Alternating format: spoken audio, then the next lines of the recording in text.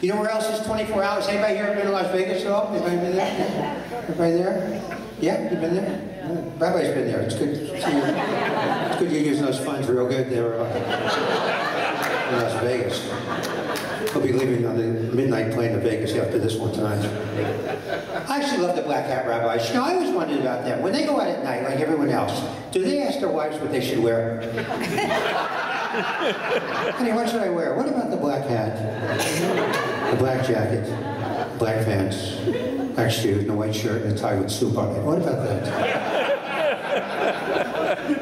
Do you ever go to one of these really big Chabad functions where there's like hundreds of these rabbis and you're talking to one, he says, excuse me a minute, and you can't remember which one you're talking to? Is it that one or that one? They all have the same beard. What's going on here? No idea. But I was in Las Vegas uh, not too long ago. Everything is 24 hours. They have 24-hour jewelry stores. Who wakes up 3.30 in the morning and goes, I need a Rolex? Then a store, this thing, I saw a sign, it said 24-hour family restaurant. What kind of lunatic families go out 4 o'clock in the morning? Some psycho father? All right, everyone out of bed. It's 4 o'clock, we're a family, we're going out for eggs. Then we'll go to the jewelry store, supermarket. We'll be back in bed by 5.30 and start drinking again. Let's go. Let's move it. Let's have a good time here. But I do live out in Los Angeles, and uh, I'm originally from the East Coast. I grew up here. I used to live in the Bronx and in uh, Forest Hills, and yeah. Bronx people here at all? Anybody? Really? All right. From the Bronx, sir? Yes, Yeah, you still there? Where are you now? Rockland County. Rockland County. Very nice. Very nice. Big difference. I lived in a six-floor walk-up with no heat. My parents were doing well. But I do live out in Los Angeles. Now, one of the differences we have out there, we have the earthquakes. You don't have them here. And I was in one a couple of years ago. Thank God we're okay. But my uncle lived in a trailer park, over 100 trailers, completely destroyed, over $60 worth of damage. It was very sad. How do people, how do people decide to live in a trailer? What do they walk into the back of a truck one day, look around and go, oh yeah, this is fantastic. Put a chair and I'm set for the rest of my life. I can never live in a place where if someone is sitting next to me on the couch, my house might tip over. Or if I'm taking a bath and I'm thirsty, I can reach into the kitchen from the tub. And if you watch TV, these trailer people are always killing each other, just murdering each other. I guess after you live with somebody for 11 years in one room, you look at them one day and go, I'm taking you out this afternoon. When I married you, you had three teeth, and look at you now. So good. But I did grow up here in New York, and I, I used to live with my parents here till they moved out, got their own place, and uh, my grandparents lived with us when I was growing up. Let me tell you something. Grandparents have stories you cannot prove. My grandfather told me, he told me he moved to the United States when he was two, by himself. In those days, you looked at parents and said, Mama, Pop, I'm two. I'm out of here. Three years old, got a job putting in high voltage wires for them. He came from the old country. Where is this place? I looked on every map in the world. There is no old country. What is it, a country with just old people walking around? Like grandparents, when you're a kid, this is true, grandparents like to give the grandkids money, but they never just hand it to you. They always slip it to you like it's illegal. Like they're selling you dope or something. Everybody leaves the room, my grandfather's like, put this in your pocket, keep your mouth closed. Just put it away, you don't know where you got it, all right? Don't say anything, you have no idea where you got this. If your mother asked, you found it. Just lie, just keep lying. Here's two dollars, go to college, don't worry about it. When I was a kid, two dollars was a lot of money. My allowance was 50 cents a week. I remember asking my, my father for a raise once. I said, Dad, can I have a raise? He said, I'm sorry, we can't afford it. I said, then get another job. I'm getting 50 cents a week here. What's the deal? My mother hated cleaning up anything. Always said the same thing when I was a kid. You know, Mark, I am not your maid. In my head, I'm thinking, yes, you are. Somebody's been cleaning up. It hasn't been me. I actually said to her once, you are my maid. Get me a hamburger. She told my father. He said, sounds great. Get me one, too. Some of the most fun we had when I was a kid was when the whole family would go in the car. That was the best. But before we go in the car, though, my mother would talk to me like I'd never heard of a car. She looked at me, all right, Mark, we're going in the car. So if you want to go to the bathroom, go now. You hear me? Go now, because once your father starts the car, that's it. We're driving straight to Bulgaria today. We cannot stop. If you're not going to be good, tell me right now, and we'll just leave you home.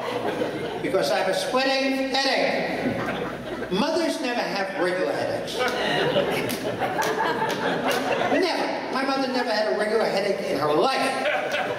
My mother only had a splitting headache. And she would yell, I have a splitting headache. Couldn't be from yelling 11 hours a day, could it? That could be part of the problem.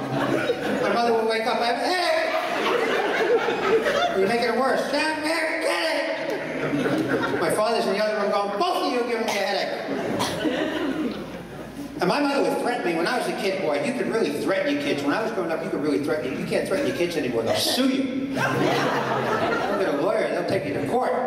When I was a kid, my mother would say things like, go ahead, touch that door, I will break your hands off. Open your mouth again, I'll rip the tongue right out of your head. Get in here right now, or I will break every bone in your body. If I have to come in there, I will kill you. That was love, ladies and gentlemen. My mother threatened to rip the tongue out of my head. I knew she cared. And my mother was a very confused woman, incredibly confused. My mother did not think that I had any idea who she was. She really did not believe I, think I knew who she was, because she would say to me, who do you think you're talking to? who do you think you're talking to? Do you have any idea who I am? I am your mother. Do you realize that? I don't think so. Otherwise, you wouldn't act like this. And she didn't think I knew who I was. She thought I was as confused as her because she looked at me and go, who do you think you are? Who the heck do you think you are? You're not my child.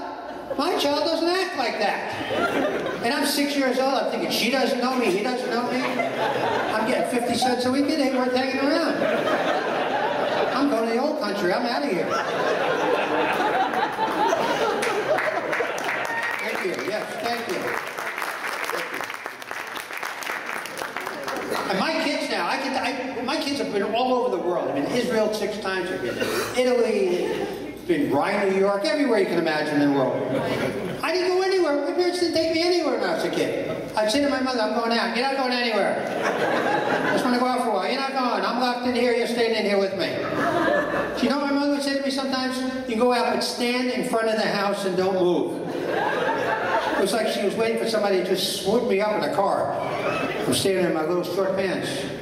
Just stand there and don't move. I'm watching. If you move, you're coming right back in. Anyway, going for rides in the car, that was great. I would, you know, I, would, I used to like to get in the car a few seconds over my folks, and I would turn that radio all the way up. So my father started the engine and blow the hair right off his head. It's starting already. And I sat in the back of the car. I swear, the dog could sit in the front.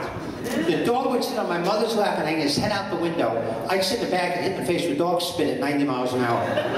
I'm going, Mark. And dogs are the best. You can do anything you want to your dog and they love you. I used to take my dog's nose, put it in my mouth, and try to blow the dog up. Just take that big snoot, like, watch him sneeze for an hour. And the only time he tried to bite me is when I grabbed his back legs and did the wheelbarrow. And the old wheelbarrow, he's like, ah. my mother's gonna put him down, he doesn't like it. No, he loves it. So anyway, I the back of the car, that was my area. And when you're a little kid, parents give you these little toys to play with in the car. They think it's going to keep you quiet. My favorite toy when I was a kid, a little plastic phone. I used to love this thing. And I loved when my father would talk on the phone. He's driving, trying to have a nice day. I'm slamming the phone in his head. it's for you, Dad. It's not for me. Leave me alone. It's for you. That's when they threaten you. Don't make me come back. So I get angry. I put my arm through my back window, through his front window, cover his eyes while he's driving. Or get my foot under the seat, get those springs going. How you doing, Dad? And my mother's so nervous in the car. She's on what I call idiot patrol. All day she's looking out the window, yelling at my father, get away from that idiot. Why do you drive so close to an idiot like that? That whole family looks like a bunch of idiots. I'm still going, it's for you, Dad. Now he's threatening, if you don't stop it, I will kill us all. And we had a four-door car with electric windows. When you're a kid, you can't play with the windows because they tell you that is not a toy. When you're a kid, that is a toy. And we had a four-door car, and you can't put the locks on the door because they tell you, God forbid you fall out. Then what are we going to do? The sickest thing I ever did, my folks are doing like 70 on the highway. I opened the back door, slammed it, then hid behind the back seat. my father's hair went up in the air. He's going, he fell out. My mother's going, pull over, will you, idiot? They pull off the highway like 100 miles an hour.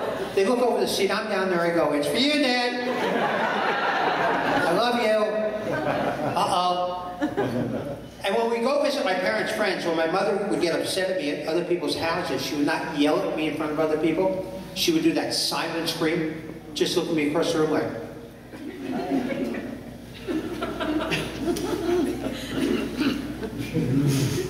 and I'm like, I can't hear you. I think the thing that got my folks most nervous, absolutely true. When I was 15 years old, that's when I started going out of the house at night. And before you go out at night, though, mothers tell you when to be home to the minute. She'd look at me, all right, Mark, you go out, but I want you home at uh, 10.30. You hear me? Now, what time did I say? No, I want to hear the words before you go out. That's right, that doesn't mean 10.31. With 10.32, and the whole family's going, with 10.33, with 10.34. Even the dog is going, woof, woof, woof, woof. And if you're not home by 10.30, mothers will wait up for you. I remember one time she told me to be home at 10.30. I walked in at 4 o'clock in the morning. But after 1 o'clock, you just say to yourself, the heck with it now. I don't live there anymore.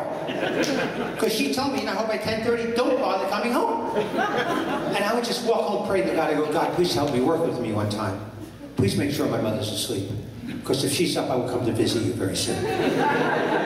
And you try to sneak in the house, but at that hour, everything is magnified. Put the key in the door.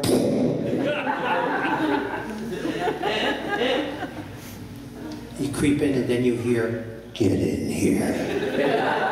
Now. And I swear, I looked up, I said, I asked you to help me one rotten thing, and I heard this voice say, she would not go to sleep. This is a very powerful woman. Good luck, young man. See you very soon. And my mother would just sit in the chair like, get in here. Do you know what time it is? It's after 4 o'clock now. Where were you? With your friends. People don't have friends at 4 o'clock in the morning. Crazy people have friends at 4 o'clock. You don't see me parading around the streets at 4 o'clock, do you? Now, what is wrong with you? Nothing, something is definitely wrong with you. Nobody acts the way you act. Your friends don't treat their mothers the way you treat me. Look at me when I'm talking to you. I am your mother. Don't mimic me. I have had it up to here with your shenanigans. I don't even know what a shenanigan is. What? You give me orders I should go to sleep? I haven't slept since the day you were born. That's why I look like this. I was a pretty woman a long time ago.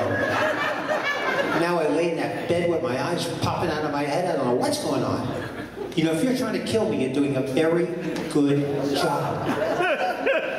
Now, this is my house. You don't like it, leave. Where do you think you're going? You're not going anywhere. If anyone leaves, it's going to be me. I'll pack, I'll get out of here right now because I've had it with you and your father. And when he gets home, I'll tell him. And in my house, my mother does all the talking. My father just agrees. They've been married so long, my mother actually sucked the brain out of my father's head. I'll just walk around the house going, just do what she says. Oh, for God's sakes, do what she says. I gotta lay down for a couple weeks. Maybe get another job. I gotta get out of here.